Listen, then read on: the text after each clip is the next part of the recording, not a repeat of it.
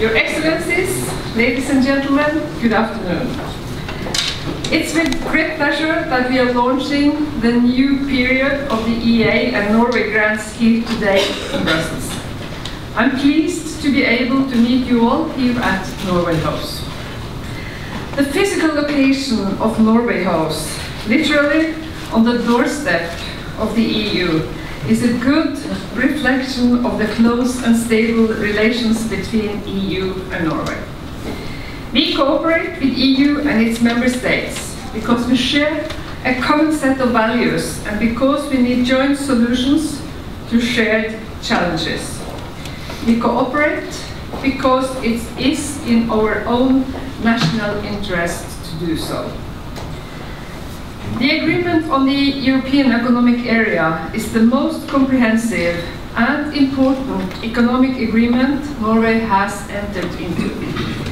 It extends the EU internal market to Norway and ensures that Norway enjoys the benefits of the free movement of persons, goods, services and capital.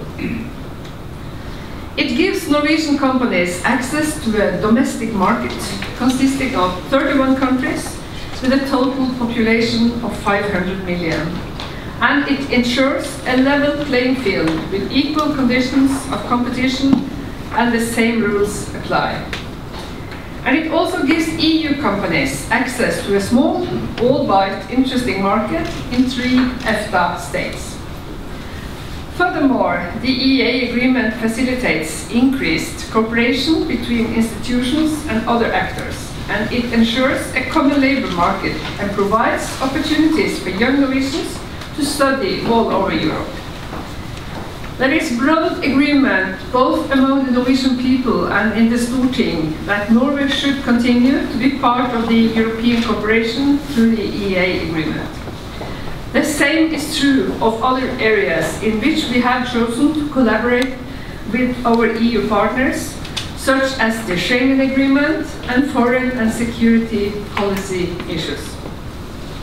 Our views frequent, frequently coincide, and by acting together, we can have more influence internationally. We will continue to pursue an open and inclusive European policy. The EEA agreement is, as mentioned, the mainstay for, uh, of our cooperation. This agreement also includes a common goal to work together to reduce social and economic disparities in Europe. To this end, we have created the EEA and Norway grants. Norway has contributed 3.3 billion euros to European cohesion since the EEA agreement entered into force in 1994 through various financial mechanisms.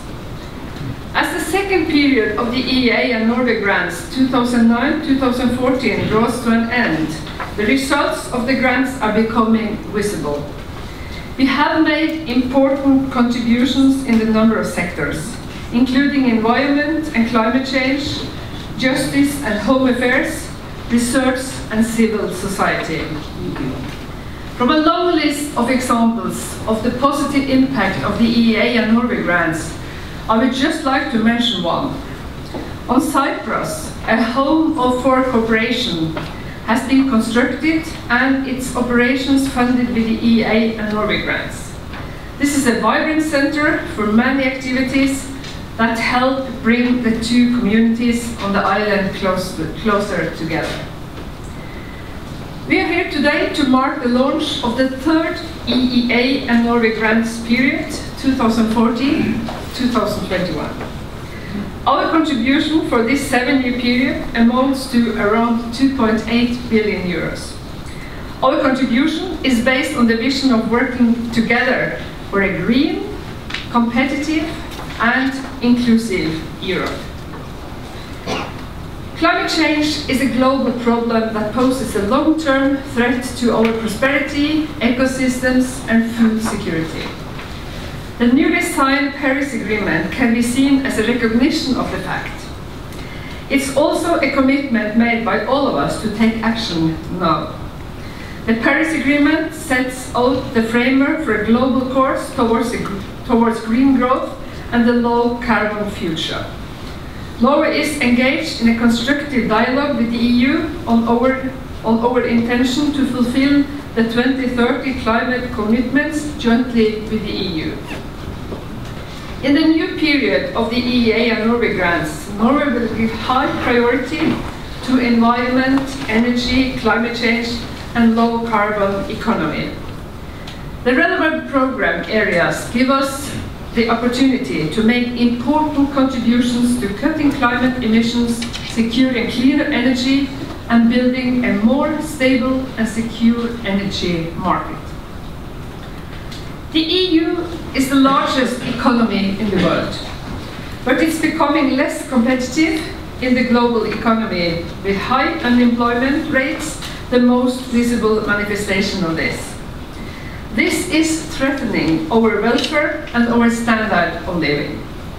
In order to change this situation and promote economic growth and increase competitiveness, we need to invest more in people, in knowledge, research and innovation. We need to cultivate what have traditionally been our competitive, uh, competitive advantages, competence, quality and equality. In the coming period, the Norwegian government will continue to emphasize uh, the importance of innovation, opportunities for businesses and research. This will, this will also strengthen our ties with partners in the areas of science, technology and industry. All European countries are committed to the common values of liberty, democracy, respect for human rights and fundamental freedoms. However, recent signs and trends are worrying. We are seeing reports of increased xenophobia, anti-Semitism, and discrimination of vulnerable groups.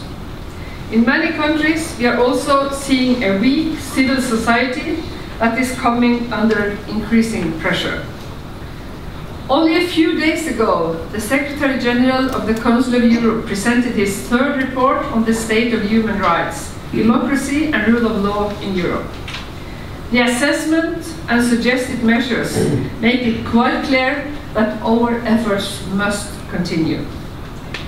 We need to make sure that the future belongs to all of us, that everyone has an equal opportunity to lead a prosperous, a prosperous life. We will continue to work to ensure that Roma children can go to normal schools and get a good education. That lesbian, gay, bisexual and transgender people are respected for who they are. And that refugees and migrants are met with respect in accordance with the law and our international obligations. obligations. This is our common moral obligation as partners and citizens of Europe. Our funding will be based on respect for human dignity, freedom, democracy, equality, the rule of law, and respect for human rights. We are continuing existing program areas and introducing new ones in order to support efforts in the following fields. Children and youth at risk, asylum and migration, Roma inclusion, and empowerment and civil society. The political, economic and social challenges Europe is facing are our common challenges. We can only create a greener, more competitive and more inclusive Europe if we work together.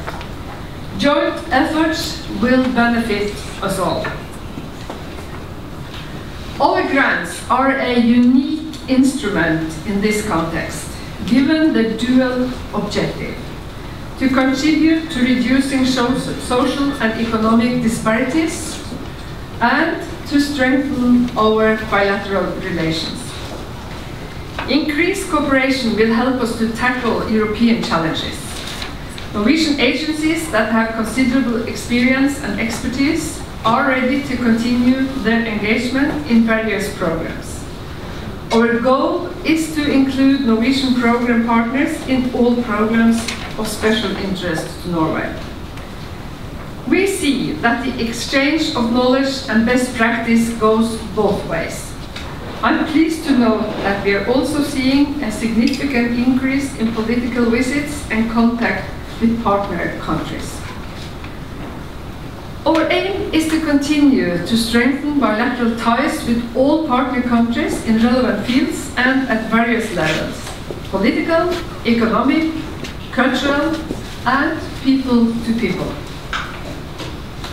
The EEA and Norway grants for the coming period still resemble the grants as we know them for previous years. However, we have revised our program objectives and the areas eligible for support based on evaluations, lessons learned, and stakeholder consultations. On Friday, a six-week web-based consultation process will be launched. We are anxious to receive your comments and those of other stakeholders.